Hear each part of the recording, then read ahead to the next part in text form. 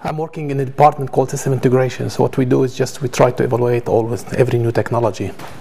And I believe today, Tommaso he talked about uh, about IME, and we said okay we'll be showing some of our experimental stuff that uh, that we had on uh, on IME as a new technology.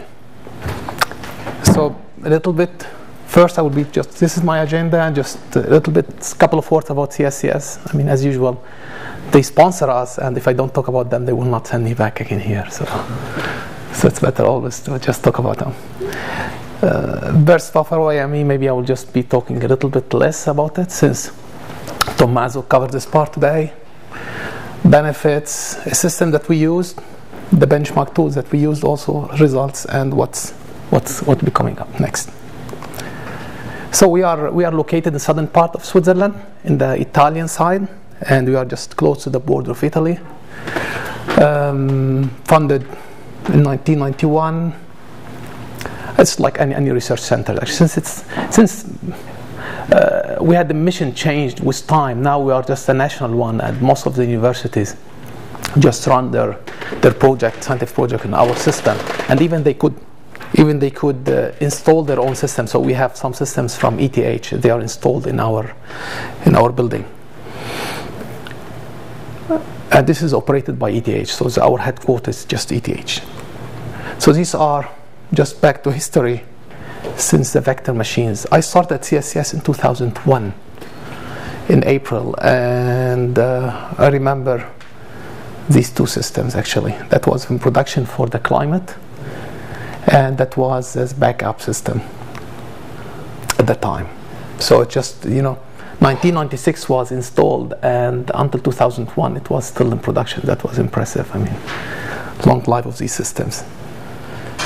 And these are just a variation of these systems, back from, from vector machines to massive parallel machines, and ending up now with what we have. This is Piz Daint, which is a Sandy Bridge system. It's a hybrid machine between GPU and the Sandy Bridge. So what's interesting, I mean, back back at the time of the vector machines, when uh, when anyone will present an HPC system, will be just talking about a supercomputing. That's it. But with time, that changed. So it's not only talking about supercomputing, you want to talk about power, cooling, and all these stuff. And one of them is just the cooling, which is quite interesting what we have. So we pull the water from the lake, crossing the city of Lugano to CSCS, and just a, a circuit, a closed circuit that will just be cooling a different uh, circuit at CSCS, and that's how we cool our machine. So in TIER, this is a free cooling system. We only have these two pumps that from, uh, from the numbers, they are just quite big. So 700 liters per second, that's a peak performance. And it's operating now so far at 500. Did it have you any problem with the, with the, you know, the green people for? Uh, yes, so it was. That's interesting question. That's especially in Switzerland, actually.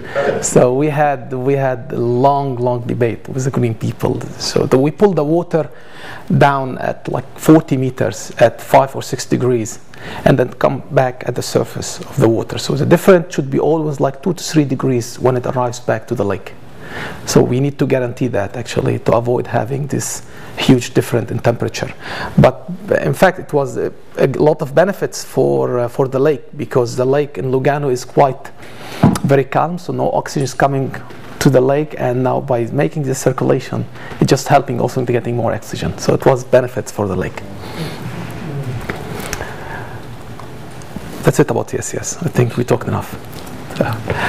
So I am IME you know, as a burst buffer and engine memory, um, infinite memory engine. I think it's uh, Tommaso did a lot good job just explaining about everything about it. So just somehow just imagine a layer between the application and the file system, where when I write, instead of writing directly first to the file system, I write to this caching layer, and I will just benefit from the from this high speed of this caching layer. This picture actually from from uh, from DDN. Uh, so I'll just jump this one. This is uh, just more technical layout showing where it sits. So you can go straight actually from the client to the file system, or you just could process way by adding this, by calling this library, the IME library. In this case, everything you'll be writing, it will go straight first here, and then will get migrated. Uh, the migration part that we'll be just discussing later, that could be done automatically or could be done on request, and there should be some settings and policies. Actually, DDN could maybe mention more details about how this migration could take place. But that's all should be configurable. You could just all optimize that and change it, make, make changes the way that you want. Okay, this is our some benefits. I mentioned some of them. So we accelerate I/O.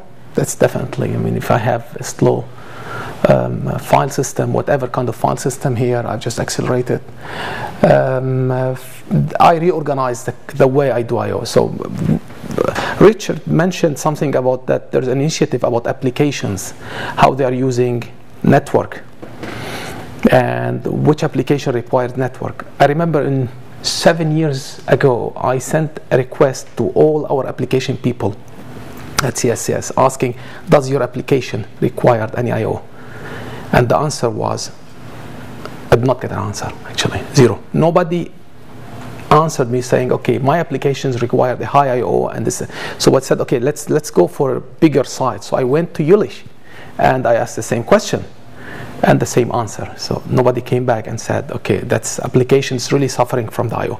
So knowing what the application is doing is a big. Uh, is very challenging. The way that the knowing the application what it's doing on the network. And I remember two years ago, before we started this project, we had a guy from from ETH said, I'm ready to just take down your file system on its knee, whatever file system you have at CSCS. And he used CP2K. So he modified CP2K in a way that he could run it and take the file system on its knee.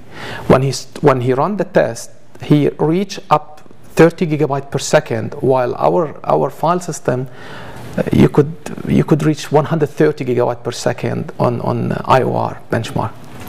So he never managed to do that. And we start analyzing what's going on and why he failed. Also, he optimized that, that code to run in this way. And uh, the reason was that the way the application was using the, the size and how random and the way it's writing to the file system. Benchmark, we usually use sequential write. We don't go for, especially when we are reading, we don't go for this what we call seek and then read and seek, whatever, in, in a mechanical disk but he was going he was not going sequential to gain from uh, avoiding the seek but he was going random with a very very small block size and that was it was a success actually for him to go 30 gigabyte per second because usually you get really less than that. Especially on uh, on a file system it's Lustre and with a, with really quite big uh, blocks are configured too.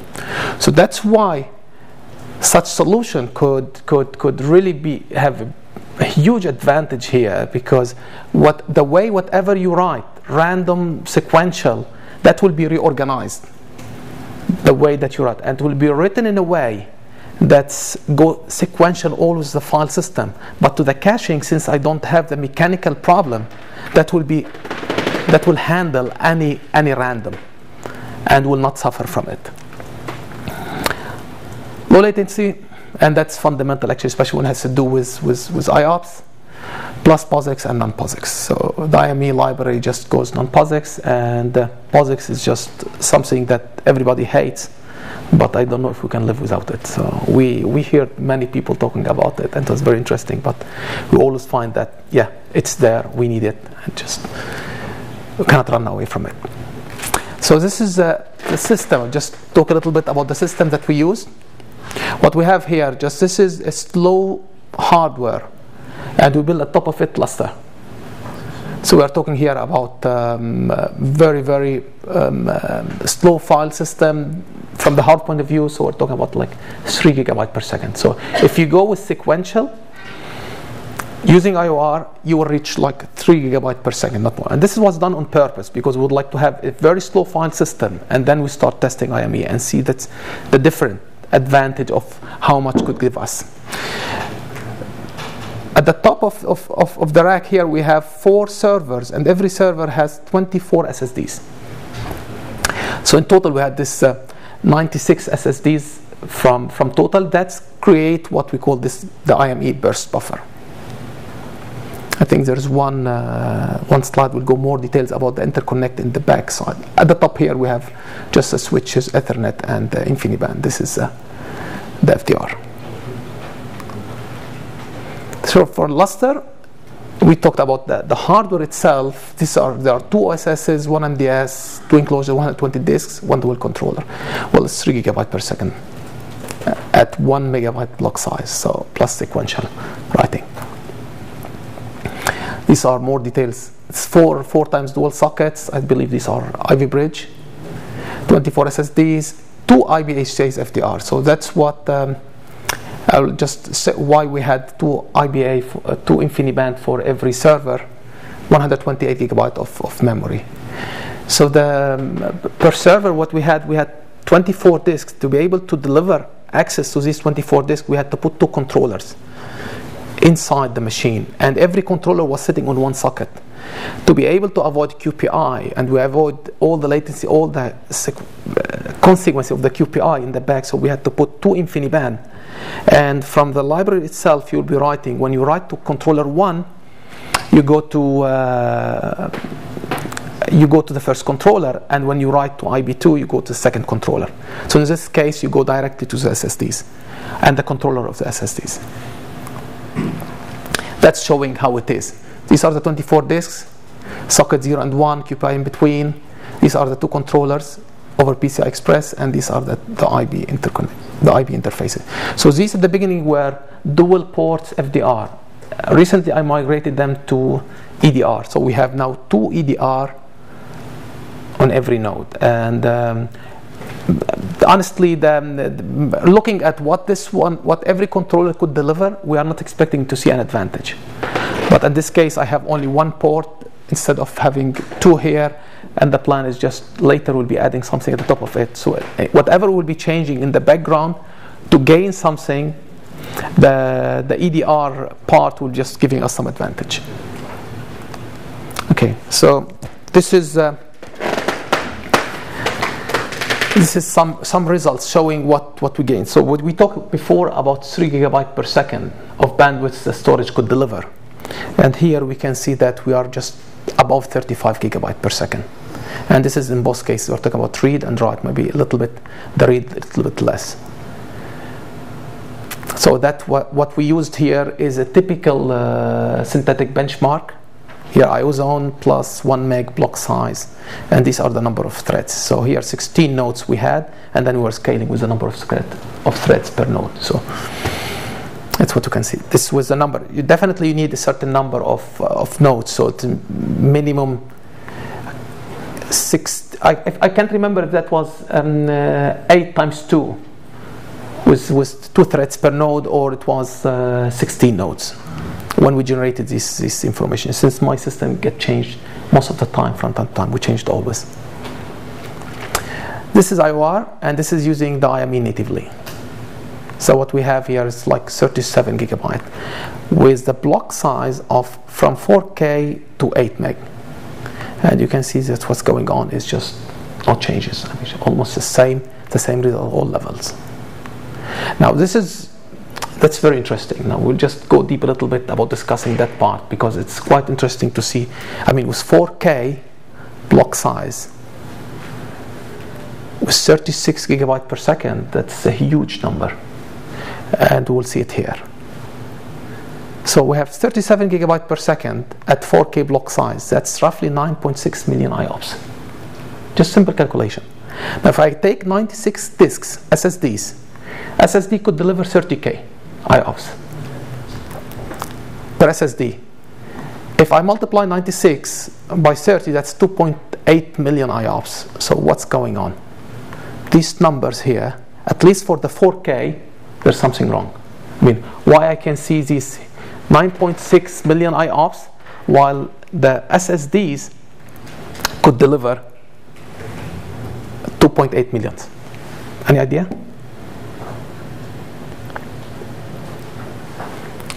Okay. So that's what's going on. So IME, in principle, you when, when you're writing 4K, because it's just elaborate on the way that we write data to, uh, to disk, this will change. So the 4K will not finalize as 4K. It will be changing. This will be replaced by by IME itself, and the blocks will change. So if you look at, at what's going on here, the number of IOs and the number of megabyte for one device, that's one disk only, we can see that's going on at 128k kilobyte per second, not 4k. And that's what IME is doing in the background. So it's taking it 4k and changing that from 4k to 128. So when it's what the final way of writing it 128k block size, not 4k, and that's why I can see. So if that's very transparent to, to to, to user because you will always be writing at 4K and you will be gaining these IOPS. So it's not fake what's going on. But the final destination that will change from 4K to 120A to be able to correspond to this and make that make sense. Because if, if, if that's not happening in the background, really is a problem because there's something wrong here. Or I'm using the memory and I'm caching everything, or there's something wrong. And then a certain size that will not be very helpful. So that was a work that took us some time to be able to understand what's going on. Because to be honest, I mean, this information was not delivered by DDN at the beginning. So when I discovered this, I just went back to DDN and I said, okay, look, I can see this. So could you explain? I said, yeah, you are right in what you are saying because that will change to 128. And it was interesting to see how they are doing it in the background.